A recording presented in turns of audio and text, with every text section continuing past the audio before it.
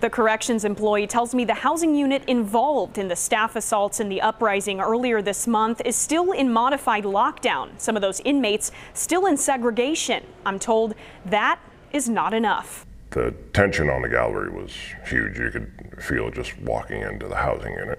This Department of Corrections employee was at the Tecumseh prison for the March 2nd uprising when prisoners killed two inmates and trashed an entire housing unit, causing fires and flooding. Inmates were sharpening weapons, using the ground to sharpen them.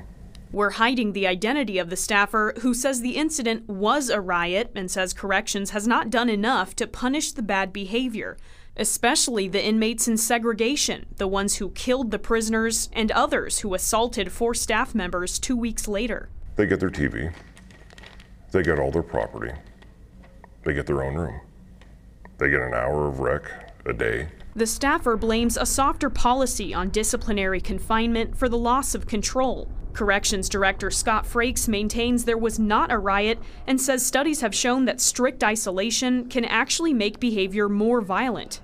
Plain direct punishment in general is not an effective way to change behavior.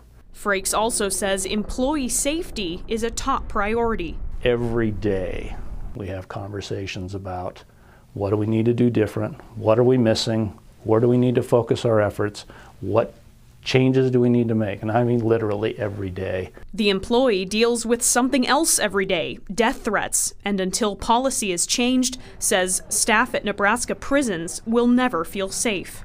You hear it every day. Every day.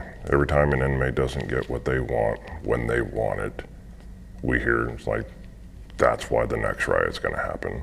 With more complete coverage, Camilla Ortiz, KETV Newswatch 7.